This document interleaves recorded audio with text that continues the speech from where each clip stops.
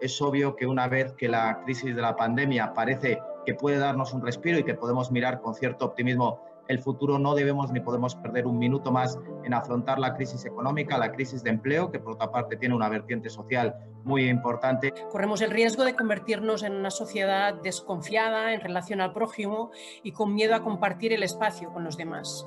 Eso sería realmente un desastre desde el punto de vista social. Intentamos que la cohesión social y el desarrollo económico sean dos elementos que los trabajamos a la par, que no avanzan el uno sin la otra. Cambiamos el modelo de partida del que veníamos o no saldremos, no nos recuperaremos realmente de lo que nos está pasando. Sin duda la gestión de lo, de lo público ha sido la clave para poder eh, enfocar y orientar esta, esta crisis. ¿no? Queremos reconstruir una ciudad orientada a un modelo sostenible y resiliente, pensando en algo que veníamos pensando mucho antes, que es el otro gran riesgo que tenemos, que es el cambio climático. Los servicios sociales son un derecho, un derecho de toda la ciudadanía, que puede usar en cualquier momento. Los primeros minutos casi de esto, lo primero que, el primer foco que nos pusimos es en garantizar la continuidad en los servicios sociales. Los estados son demasiado pequeños para resolver aislados los grandes problemas y demasiado grandes para resolver los pequeños. Y es ahí donde se sitúan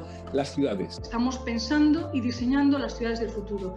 Ya lo habíamos hecho inicialmente, ya estábamos con esa Agenda 2030 un poco en esta línea y si cabe ahora más que nunca tiene más sentido. Esta crisis nos ha enseñado a pensar en lo muy, muy local. Y por ello nosotros creemos que el pequeño comercio ha jugado y va a jugar un papel fundamental.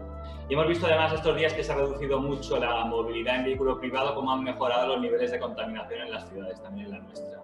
Esta crisis yo creo que también es una oportunidad para que aceleremos ¿no? la, la, implantación de políticas que yo creo que muchos de nosotros ya, ya estábamos decididos a, a implementar. España tiene talento que podemos recuperar y un gran potencial innovador para dar la talla y fortalecerse.